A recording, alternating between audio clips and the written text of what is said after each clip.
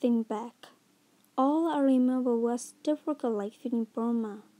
My house got burned, and my farm got destroyed by Burmese soldiers.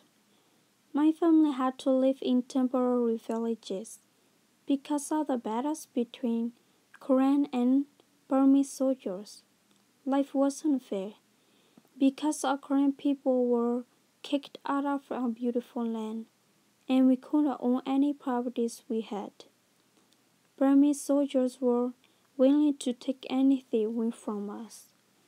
Rice was our main food, but it was unaffordable since different ethnic groups in Burma was developing and fewer people were working on the farm. Because battles always had been in Burma, my parents escaped to a town refugee camp in 1997. As refugees, we got support from the United Nations such as food, shelter, and clothing. My family lived in a town refugee camp for more than 12 years. In 2000, the United Nations allowed Karen refugees to come to the United States to start a better life. For this reason, my family got a chance to apply for an interview in 2007. After we got accepted for interview, the United Nations checked my family background and that they gave us a physical.